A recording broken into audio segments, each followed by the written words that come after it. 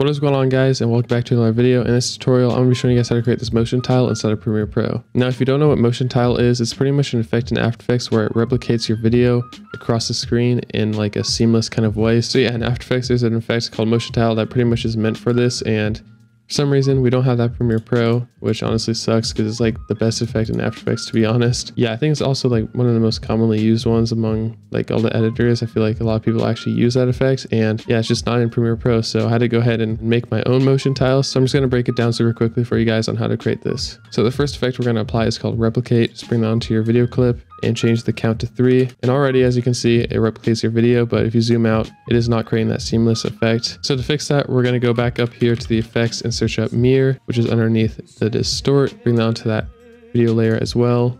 Now, if you select that mirror effect, you'll see there's like a little blue thing that shows up on your video. And what you can do is actually drag this. And what we're gonna do is pretty much align it on the edge of our mirror or our replicate that we applied earlier. So as you can see, you just want to drag it so it aligns with the original video and hides that, I guess, seam. And this is pretty much the effect we're going for is that replicated video, which you can hardly even tell that there is kind of that seam in the replicate. If I turn this off, you can see the before and after. So let's just go ahead and duplicate this effect. You can just hit Control C, Control V. So to do this on the other side, we're going to change this angle to 180 and then just drag this so it aligns on the left side duplicate this again and we're going to change the angle to 90 so now we can do this to the bottom and then duplicate it one more time for the top and change this to negative 90 then just drag it up so it aligns with the uh, top of our screen. And there you go. Now your video should be replicated. Let's just scale this back up to 100. And the last effect we're going to apply is transform. Bring this onto that layer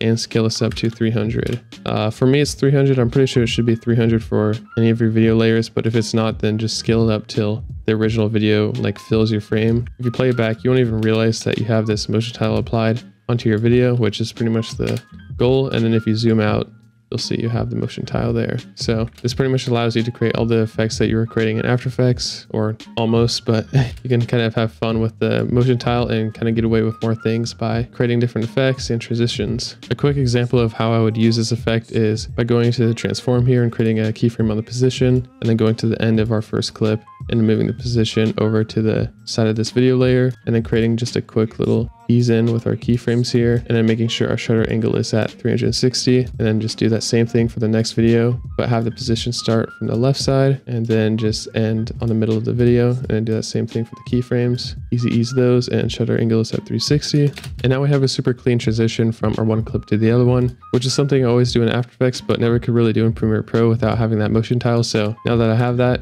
you can get really creative with different transitions. But yeah, then you could just go ahead and select all these effects here and then right click them and hit save preset and name it to whatever you like. And then just hit okay and it'll go up into these effects here and you can literally just drag and drop this motion tile onto your videos. Hopefully this helps you guys. And if you're trying to figure out how to do this or you just learned something new and you're going to start using this effect, then make sure to drop a like if this helped you and subscribe to my channel. And I'll see you guys on the next one. Peace out.